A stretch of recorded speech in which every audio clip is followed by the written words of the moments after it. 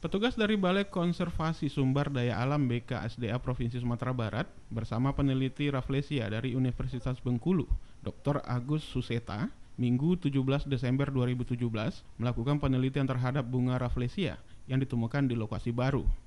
Menurut peneliti, selain berada di lokasi yang sebelumnya tidak pernah ditemukan, bunga Rafflesia yang ditemukan warga di habitat harimau Sumatera di kawasan Suaka Alaman Ninjau di Jorong Baringin, Kecamatan Palambayan, Kabupaten Agam, juga merupakan Rafflesia jenis langka yang sebelumnya tidak pernah ditemukan di Indonesia.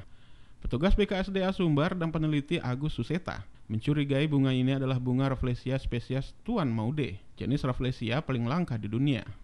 Bunga unik yang hanya memiliki bunga tanpa batang dan daun ini berukuran cukup besar. Di dalam pucuk terdapat rambut-rambut tipis yang membedakannya dengan Rafflesia jenis lainnya.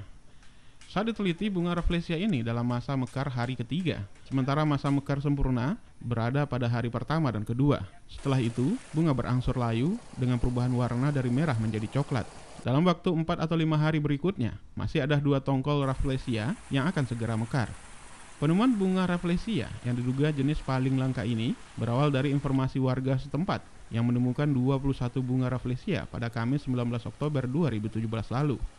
Awalnya warga menduga objek merah menyala ini adalah onggokan daging sisa yang telah dimangsa harimau Sumatera. Namun saat didekati, barulah diketahui objek aneh yang baru pertama dilihat oleh warga ini adalah bunga langka. Sementara untuk memastikan jenisnya, petugas BKSDA bersama peneliti akan intens melakukan pengamatan hingga beberapa hari ke depan. Ini eh, salah satu lokasi yang baru ya untuk sementara kita melihat ini bukan Arnoldi ya. Hmm. kita harus ngecek lagi apa jenisnya seperti itu. Nah, uh, yakin bukan Arnoldi karena beda. Apa Pak bedanya Pak? Beda uh, di warna kelopak, hmm. kemudian ada rambut di dalam itu beda.